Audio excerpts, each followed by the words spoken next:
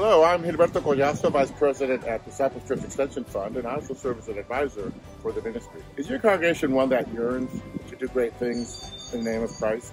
Are you ready and willing to be the hands and feet of Christ in your community? At DCEF, we believe that there's a way to do it. When we understand who we are, when we understand what we are called to do and how we do it, we will do great things in God's name. So we would like to have that conversation with you about how to empower you and your congregation to really be aware of what you have and how you can put that in the hands of God so that your ministry can do great things and empower and transform communities. So we at Disciples Church Extension are there to walk alongside you. Give us a call. We want to be part of whatever God has for you.